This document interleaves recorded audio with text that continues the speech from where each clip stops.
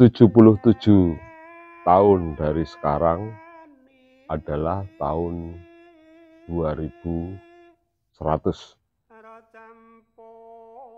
Semua orang yang mendengar pesan ini, saya pastikan sudah terkubur di dalam tanah.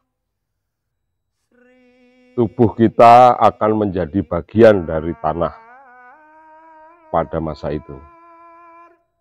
Tujuan akhir kita sudah ditetapkan oleh Allah Subhanahu wa Ta'ala. Sementara itu, rumah kita yang kita tinggalkan akan menjadi rumah orang lain, dan pekerjaan kita akan diganti oleh orang lain juga. Sementara itu, orang-orang tidak akan menyebut-nyebut nama kita lagi. Kita akan terlupakan. Kapan terakhir kali kamu mengingat kakek buyutmu?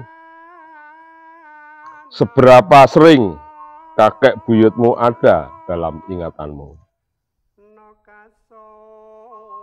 Kehadiran kita di bumi saat ini, kehadiran dengan segala kegaduhan yang kita buat, dan dipenuhi dengan banjir air mata. Kehidupan sama yang dilalui oleh pendahuluan kita yang tak terhitung jumlahnya. Dan akan diteruskan oleh generasi yang juga tak terhitung jumlahnya setelah kita tiada.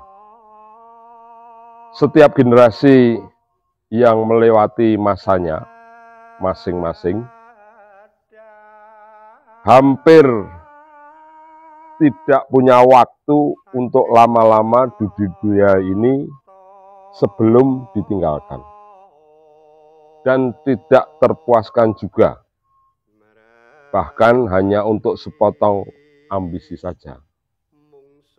Hidup kita kenyataannya jauh lebih pendek dari yang kita bayangkan.